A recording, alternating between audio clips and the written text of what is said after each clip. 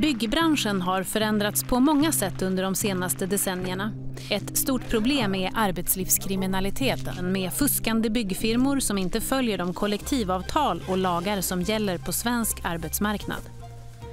Byggnads förtroendevalda gör ett viktigt arbete för att se till att allt är i sin ordning och larma om något känns fel.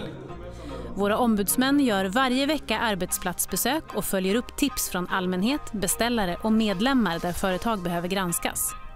Varje år kräver vi in miljoner i skadestånd för uteblivna löner och ersättningar till medlemmar. Vi måste vara fler aktörer som ställer bort de oseriösa företagen. Idag agerar Byggnads myndighet bara för att vi måste. Myndigheterna har vaknat och gör tillslag landet runt och det är ett rent måste att de tar tag i den rent kriminella biten. Men de måste även göra mer.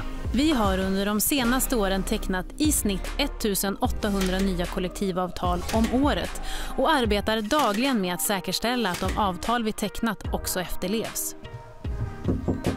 Tjena, kommer från Byggnads. Vi löser ungefär 4 500 tvister varje år. Det är tack vare Byggnads som vi har ordning och reda i byggbranschen. Men vi måste också upprätthålla ordning och reda. För det finns alltid giriga kapitalister som inte ser hantverkarnas människovärde utan bara vinstmarginalen i projekten. Och så kan vi inte ha det.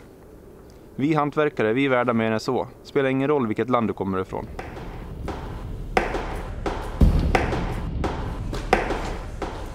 Byggnads medlemmar ska inte vara med och bekosta granskning av våra motparters arbetsplatser. Så ser det ut idag. Arbetsgivarna och byggföretagen måste ta ett större ansvar.